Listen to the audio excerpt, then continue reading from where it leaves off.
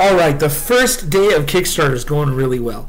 Matter of fact, we're past 20%. It's only 8 p.m. over where I'm at, over here in Lincoln, California, and it's been running since 7 a.m. I'm pretty happy with where it's at, and I totally appreciate all the work that people have gone into showing up back and helping me promote. It's all fantastic and really appreciated.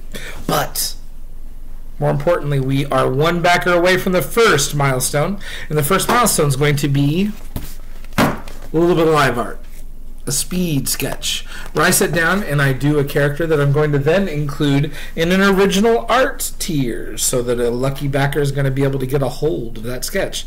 Camille thinks I should do. The Flash. James thinks I should do. Spider-Man! I'm not sure which one it's going to be. Maybe it'll be both. Or Inkling Boy. Inkling Boy. What the heck is Inkling Boy?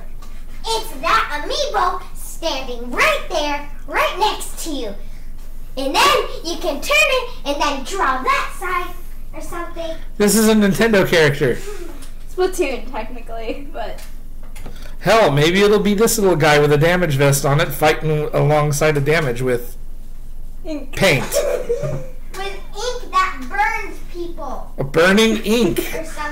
Not a bad suggestion. We're going to see how that goes. And as soon as we get 20 backers, I'm going to start on that part. So, everybody, thank you for how we're going so far. Please back the campaign and get on down there if you've already backed it and share, share, share. Help me get a little bit more damage ink going. We still got a ways to go. And thank you and good night.